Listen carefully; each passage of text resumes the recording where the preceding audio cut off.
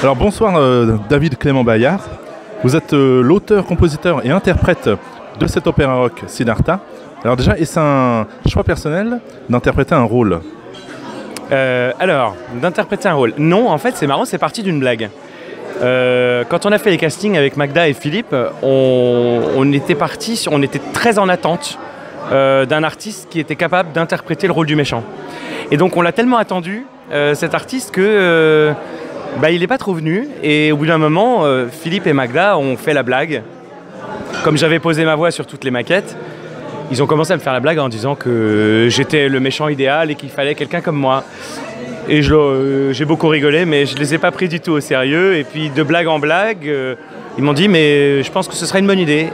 Et quand ils souriaient plus, ça m'a fait très très peur parce que j'ai aucune expérience de scène.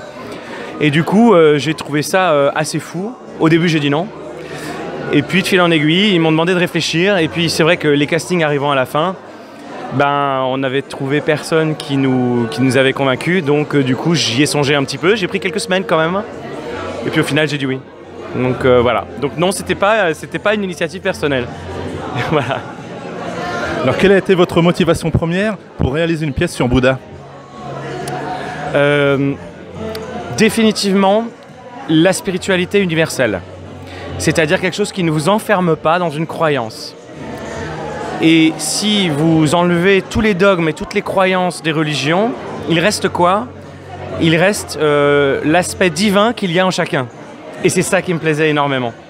Je trouve que l'homme avec un H majuscule, la femme aussi bien entendu, euh, est beau et, que, j'en ai marre d'entendre qu'on est des pécheurs ou, des gens qui sont euh, chargés de fautes sans fin. Et Siddhartha est pour moi, enfin le Bouddha historique, est un porteur d'espoir en ce sens que il dit vous êtes d'abord des êtres splendides, des êtres divins. Voilà. Est-ce que l'objectif n'était pas justement de faire connaître Siddhartha Gautama aux Français? Si d'une, ah, alors oui et non, c'est-à-dire je pensais que les gens euh, connaissaient beaucoup plus le prénom de Bouddha, du Bouddha historique, et je me suis aperçu en effet que personne ne connaissait. Très très peu de personnes connaissent le nom du Bouddha historique qui est donc Siddhartha Gautama. Euh, du coup, oui, de fil en aiguille, euh, c'est devenu une motivation. On s'est dit, mais finalement, c'est un sujet qui va parler aux gens. Et pourquoi pas leur faire connaître, euh, en effet. Mais au départ, non, c'était pas ça l'objectif du départ. Je pensais que les gens connaissaient. A-t-il été difficile de trouver un personnage pour jouer le rôle principal? Aucunement. Alors ça, euh, l'anecdote est un peu spéciale, c'est que deux ans avant, je suis allé voir le roi Arthur euh, au Palais des Sports, et je suis tombé sur un méchant que j'ai trouvé extraordinaire en méchant, et qui était complètement grimé. La moitié du visage euh, était en noir et l'autre en blanc. Il était complètement incroyable, venu de nulle part, et ce chanteur m'a fait une très grande impression. Et curieusement, j'ai vu en lui un potentiel Siddhartha. Mais aujourd'hui encore, je me demande pourquoi et comment, parce que quand je vois, euh, quand je vois euh, la beauté de cet homme et comment il était maquillé sur cette scène du roi Arthur, je ne sais pas comment j'ai fait le lien, mais tout de suite, je me suis dit c'est lui.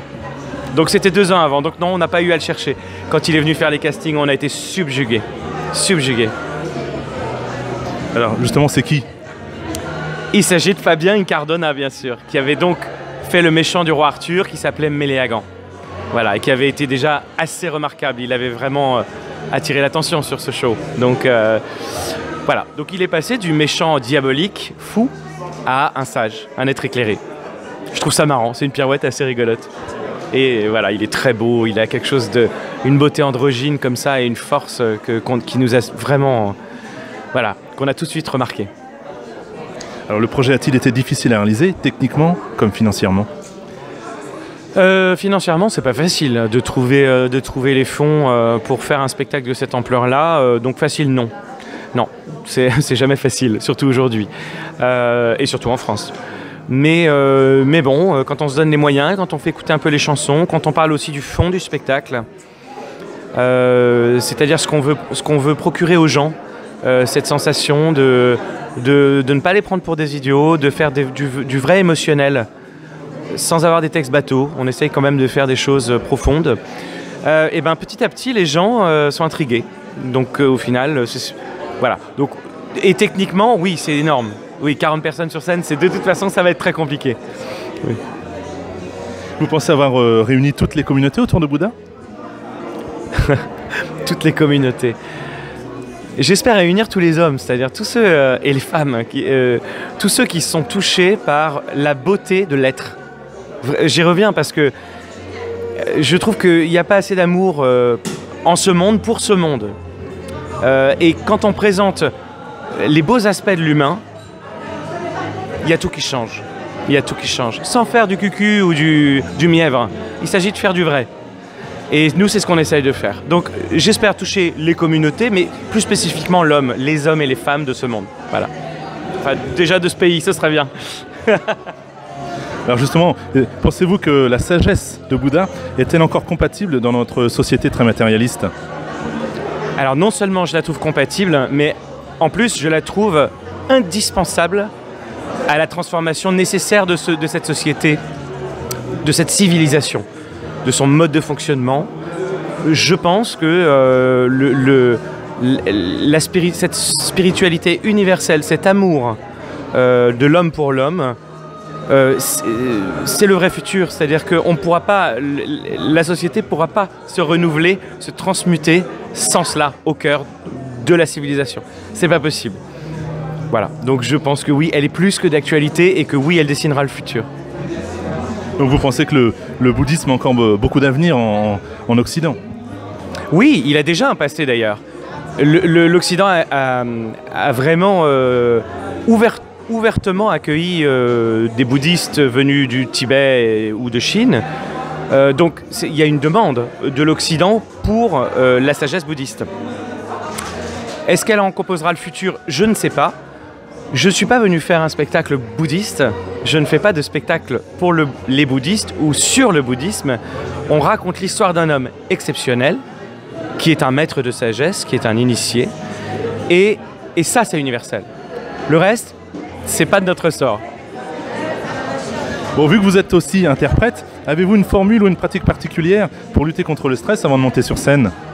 Oui, bien sûr, oui. De méditation toute simple, euh, la pensée consciente, euh, des choses comme ça, le, le- fermer les yeux, euh, conscientiser sa respiration, des choses très simples pour appeler la paix en soi, bien sûr, bien sûr au quotidien, avant la scène, ce soir, tout le temps, absolument. Et enfin, dernière question. Actuellement, dans de nombreux pays, les femmes demandent un équilibre plus juste en droit et en considération avec les hommes.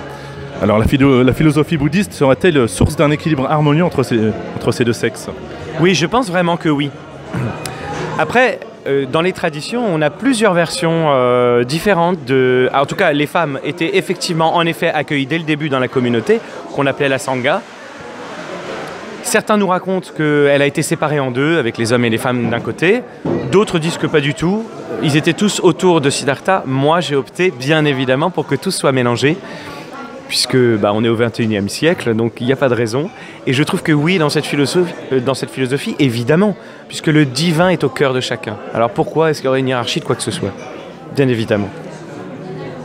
C'est sûr. Bah, écoutez, David, merci beaucoup pour cette interview donnée aux reporters du net. Vous nous rappelez euh, la date euh, de, de début de, de- Le 26 novembre 2019 au Palais des Sports. une tournée peut-être en préparation euh, On espère, ensuite On espère, on va aller chercher les villes et les régions.